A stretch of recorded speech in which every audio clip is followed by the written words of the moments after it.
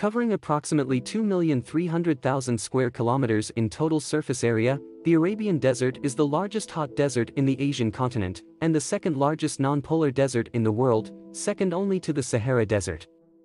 The Arabian Desert covers more than 70% of the Arabian Peninsula. It is nearly 3.3 times as big as the US state of Texas.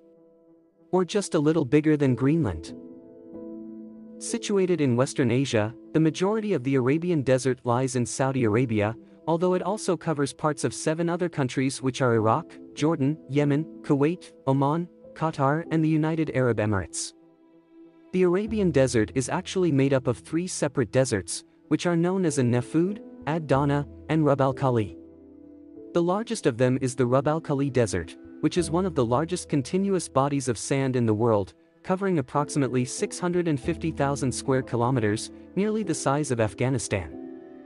The Arabian Desert is bordered by the Syrian Desert in the north, by the Red Sea in the west, by the Arabian Sea to the south, and to the east by the Persian Gulf. The Arabian Desert is usually considered as an extension of the Sahara Desert, as roughly 25 million years ago, the Arabian Peninsula was part of the African continent, but because of tectonic plates movement, the Arabian plate began to separate from the African continent and started to move towards the Eurasian plate.